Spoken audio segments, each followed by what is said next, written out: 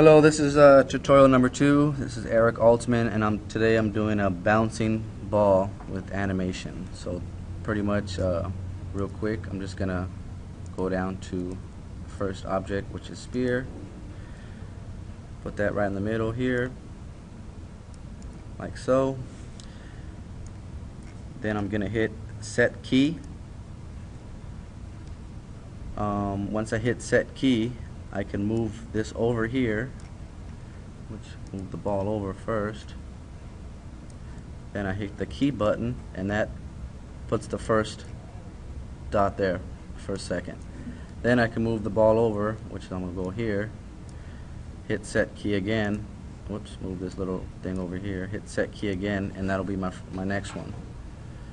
Um, move it over again, whoops, move this line over again, move the ball, hit set key. So it's pretty much a three-step process. Move the bar, move the ball, set key. Move the bar, move the ball, whoops, move the ball, set key. Move the bar, move the ball, set key. And we'll just do this real quick because it gets boring and uh, we'll get this ball animated for you guys real quick. Okay, so set key, move bar, up and down, set key, move bar, move ball, set key, and I don't know, we'll do something crazy at the end.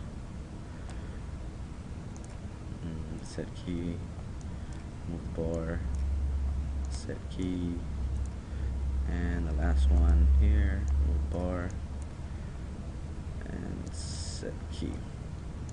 So, I did about 60 seconds, and I'll just go right back to the beginning, hit play, and there's your animation. Boom, boom, boom. Okay? Pretty simple. Don't know why that's not moving, but It depends on which view you have activated. You want to touch Oh. perspective, so just depending which one.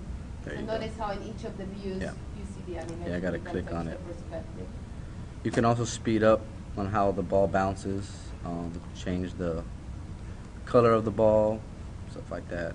But that's a first little tutorial on how to do the animation on a ball bouncing. That's it. Thank you.